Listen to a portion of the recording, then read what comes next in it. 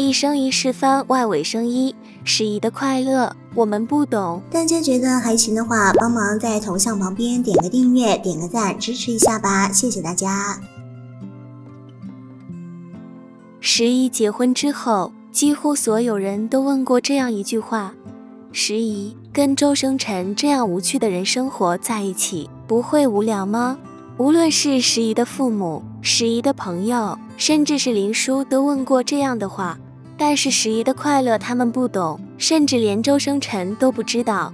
周生辰结婚前几年常说的话就是：“十一，你要是觉得无聊，就去干什么什么之类的话。”因为他很清楚自己无趣的个性。但是奇怪的是，十一很喜欢跟他待在一起，就算不说话，只要在同一个空间，十一一点都不会觉得无趣。是呀，十一的快乐我们不懂。周生辰，一个相貌平平，只知道做实验工作的化学研究员，相貌上没有吸引力，无趣的性格也没有吸引力。但是不知道为什么，十一就是看不厌，只要看着周生辰，就会不自觉被他吸引。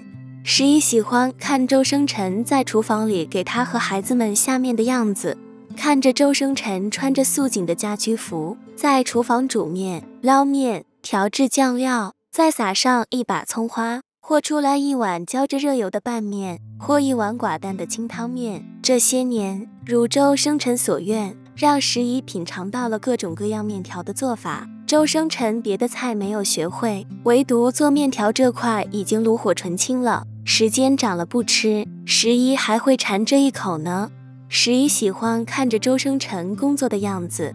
阳光下，周生辰戴着眼镜，笔直地坐在电脑前。不管什么时候，不管坐多久，周生辰始终都能保持着挺拔的坐姿。阳光下，光滑的镜面偶尔会反射出惊人的光彩。十一看着看着，就会陷入这样的光彩中，无法自拔。十一也喜欢看周生辰和孩子们玩耍的样子。这个时候，周生辰脸上寡淡的表情就一扫而去，脸上会出现各种各样的表情，笑着的、做鬼脸的、假哭着的，很多种。只要看着这个画面，时宜就觉得很满足。他期望给周生辰的一切，他都好像做到了。十一最喜欢的当然是周生辰望着他的样子。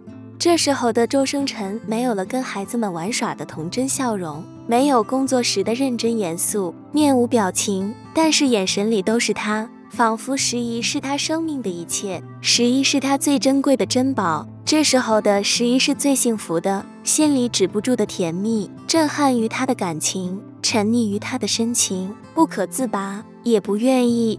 是的，在外人面前。周生辰是无趣的，甚至是乏然无味的，但是在十一眼中，他的一言一行都显得那么好看，每一个动作，每一个表情都值得十一观赏，都让十一沉迷。